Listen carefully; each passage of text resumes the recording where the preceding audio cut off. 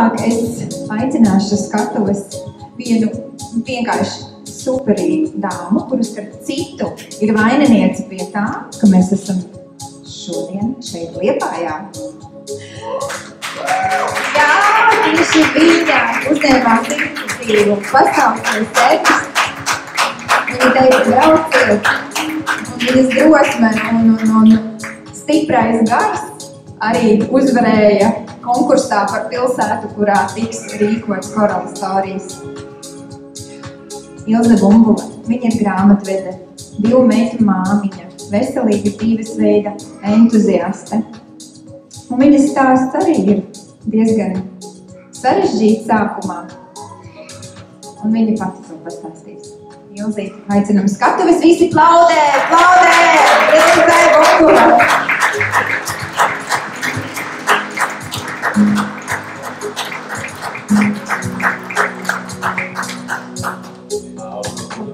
Kā jau Vineta teica, mani sauc Ilza Bumbuli.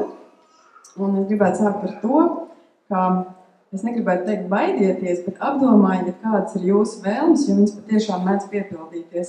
Jo tā mūsu nelielā, necelā saruna ar Evitu kaut kad ziemā, jā, varētu to korāls arī attiecināt uz Liepāju, tas patiešām ir piepildījies un mēs šeit visi esam.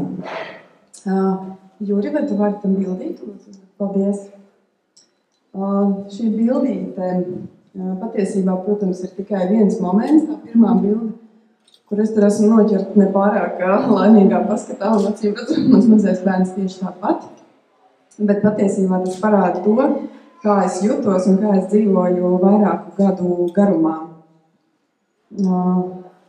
Un tad es tā mazliet sākšu pastāstīt, kā tur tas viss bija.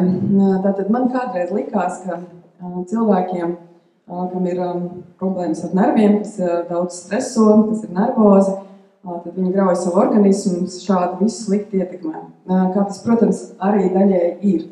Taču es nekad neiedomājos, ka patiesībā tā ķēdīte sāks no otra gala. Ka tas, kas notiek tur iekšā organismā, tīri fiziski, viss zoodārs un visi toksīni, tieši tas ir tas, kas iedarbojas uz nervu sistēmu un grauj to. Un tad tas stāsts par to, kā es nonācu vienu soļu attālumā līdz depresijai. Patiesībā es pat teiktu pussoļu vai ar vienu kāju jau depresijā. Ir šāds jaunībā. Es nevarētu teikt, ka es biju ļoti depresīvs cilvēks vai nervozs vai kā savādāk. Man liekas, ka es biju ļoti tāds dzīvespriecīgs cilvēks, jautrs un viss kārtībā. Un, um, taču jau kaut jau skolas laikā uh, man sākās tādas kā nelielas gramošanas problēmas. Nu, ko es norakstīju, nav skonu sāp un pasāp kaut kad vēders, kaut kad viņš sapūšas, ir slikti sajūta kaut kāds diskomforts, bet, nu, principā, kurš tam 20 vai 18 gados pievērš uzmanību, mēs visi vienkārši dzīvojam tālāk. Tāpat es atceros jau no bērnības, es biju tāds galvas sāpju cilvēks, un ik pa laikam pasāpēja galva, un um, to laiku atceros, māma deva citramoniņus, analgīnus, kas bija pieejams, tad laika gaitā es pārgāju zibumetīniem, viņš kļuva par man labāko draugu, uh, bet arī tam jau nu, tāda pārāk liela uzmanības nepievērš. Un tāpat, diemžēl, neskatoties uz to, ka man ir pirmā tipa cukura diabetes, no es tos jaunības gadus neaizvadīju tā ļoti saudzējoši pret savu organismu. Tāpat bija uh, ballītes pasākumi ar visu no tā izrietošajām sekām. Un es arī pieķēru pie domas, ka nu, kaut kad jau tas viss droši vien nāks ārā. Vienalga tā, baigi tajā neiedziļinājos. Lūk, un, Tad, pirms desmit gadiem, man bija tāds, sākās viss tas, kāpēc es laikam kļuvu par to nervozo cilvēku. Bija arī tāds ļoti traks pārdzīvojums, kā pusgadu laikā man no dzīves aizgāja ļoti tūs cilvēks ar smagu onkoloģisku slim, slimību, ko es, protams, ļoti pārdzīvoju. Un sākumā es jutos stipri, es vēl atbalstīju savus ģimenes locekļus, kas man šķita, ka pārdzīvo vēl vairāk, nu, tad tas man acīm redzot sāka krāties, krāties. Kā jau arī citi stāstīja, ka, ka, ka, ka mēs palīdzam citiem, paši par sevi aizmirstam. Tad tālākie pārdzīvojumi, kam it kā vajadzēja būt pozitīviem, bija divas manas grūtniecības. Bet um, sakarā ar to, ka man aptuveni 20 gadu vecumā ginekoloģi pateica, ka nu, tā kā tev ir pirmā tipa cukura diabetes, tad vai nu dzemdēt 25 gadiem, vai nu tev bērni nebūs. Un man bija jau kaut kāda 30, un man viņa vēl nebija. Es līdz ar to biju kaut kā daļai sev jau norakstījusi šajā jautājumā. Un, kad iestājās pirmā grūtniecība, par ko es biju ļoti laimīga un priecīga, es visus tos deviņus mēnešus biju nenormālā stresā. Nu, to laiku es pat nākā negribu atcerēties. un mans vīrs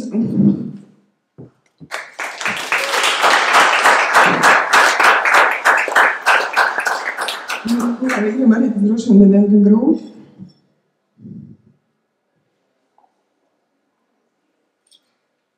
Īsāk sakot, jau um, piedzima laimīga meitene, bet jau šo laiku es biju pavadījis briesmīgi. Un, un tad jau kā jau daudzām jaunajām mamām arī tas um, grūti, tas um, zīdaiņa periods mums nebija viegls, bija problēmas ar zīdīšanu, kas pa lielam jau ir visiem.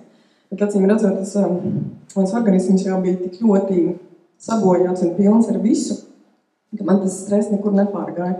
Viņš man bija visu laiku, un es pat brīnos, kā es tiku pie otra bērna.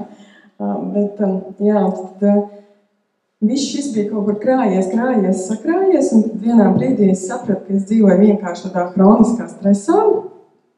Es esmu pilnīgi nelaimes čupiņa, man nav spēka darīt pilnīgi neko, man nav vēlēšanās darīt neko. Man ir divas mazas brīnišķīgas meitiņas, bet ne es gribu ar viņām spēlēt, es neko iesāku. Es aizēju uz darbu, atnāku mājās, un Un viss, tā diena ātrāk beidzās, ar domu tiešām no rīta piecelies ar vienu domu, ka tikai ātrāk pienāk vakars. Uh, jā, un tāpat bija arī tāda liela miegainība, un, kā jau minēju, nogurums, kas atkal dažkārt mijās ar tādu bezmiegu. Es atceros, ka bija brīži, iemiegu, un tieši tajā iemigšanas brīdī es noraustos kaut kādā konvulsijā, uzmožos un viss, un tā nakts, principā, negulēt, aizmigt vairs nevar, un tas viss tā mijās. Protams, paralēli tam turpinājās manas gramošanas problēmas, bet tas vairs nebija reize pa reizē. Tas bija tā, ka visu laiku ēd vai nē, visu laiku ir diskomforts, ir sāpes vēderā, ir kaut kāda viegla slikta dūša. Tāpat arī galvas sāpes kļuva tādas praktiski konstantas. Bija tiešām nedēļas, kad burtiski vienkārši katru dienu ir ibumetīns, jo savādāk tu nevari iet no darba un vispār kaut kā normāli eksistēt. Un tas mijās arī ar biežām migrēnām, ka tur jau vairs ibumetīns neko jau nepalīdz, kā pīlēja ūdens, ka tur jau vajadzēja kaut ko stiprāku. Tāpat man ļoti bija pasliktinājusies imunitāte, kad lielā meita sāka iet dārziņā, un tad mēs visādas dāvanītas uz mājām vīrusu veidā. Tad tas nebija man kā nu, pieaugušam cilvēkam, nu, paslimumu pāriet. Man tas bieži beidzās ar antibiotiku lietošanu, ar loru apmeklējumiem. Es atceros, kad es gaidīju otro meitiņu, Es arī dzēru antibiotikas tieši no aizdegunas iekaisuma un um, gāju piecas reizes pēc kārtas durt degunu. Pirmo reizi mūžā jau pieauguši cilvēku vecumā, jā, nu, tas bija uh, viss tā diezgan traki. Un tādu vēl punktiņu uz īju uzlikt tas, ka man nenormāli sāk izkrist mati. Nu, tā, ka tu izmazgā matus un man ir vienkārši noklāta. Un, protams, um, ko es tajā brīdī sadomājos, mēs visi zinām, ko filmās rāda, kas notiek, kad izkrīt mati kā jau te arī tika minēts, es sadomāju, ka man ir kaut kāda neārstējama fatāla slimība. Turklāt jāmin tas, ka es arī visā šajā periodā ļoti daudz apmeklēju ārstus, es uh, izgāju dažādas diagnozes, analīzes, nabaga man veselības apdrošinātāji, kurus es droši vien izputināju, bet pa lielam jau man neko neatrada. Visi ārsteica vainu galvā, tev viss ir kārtībā, taisnais ceļš uz uh, trakomāju, principā. Uh, jā, un, nu jā, tad pien, pienāca, manuprāt, 33 vai 34 gadi.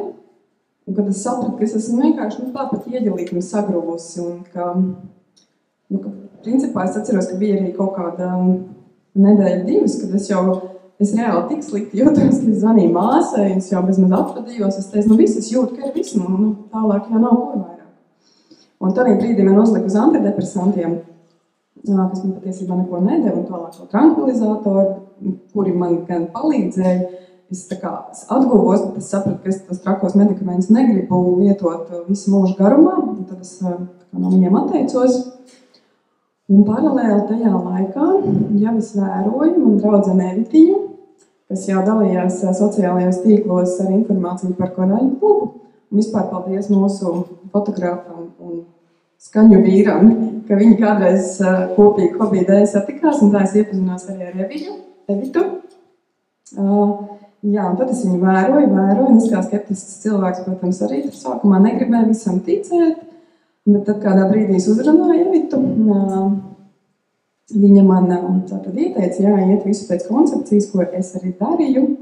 Tie rezultāti patiesībā nāca lēni. Es nebiju no tiem, kam bija tāds wow efekts pēc mēneša. Es varbūt sākumā pat tā kā nepamanīju, bet ar laiku es sapratu, tā, ibumetīns jau nav vairs tikts kādu mēnesi.